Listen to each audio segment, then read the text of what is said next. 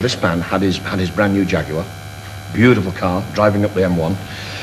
he's doing, he's just keeping it, you know, 69 miles an hour, like Jag drivers do. And he's got, happened to look in his mirror, and he sees a chicken running alongside him.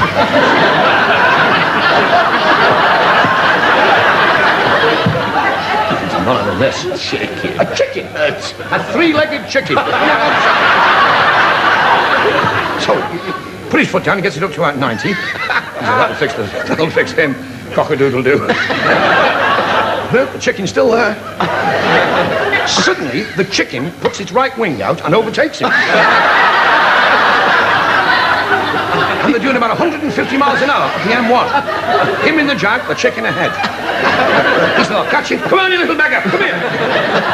Suddenly, the chicken puts his left wing out up a slip road. He said, I'll, I'm after it.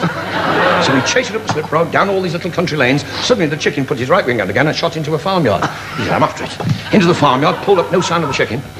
No sound of the chicken, just an old farmer crossing the farmyard, as farmers do. I don't know why they walk like this. There must be a reason, but I'm not So I said, where is it? He said, what? Where's the chicken? Oh, he said, you've chased it? Yes. He said, I chased a three-legged chicken. And he, oh, yes. The farmer says, who are?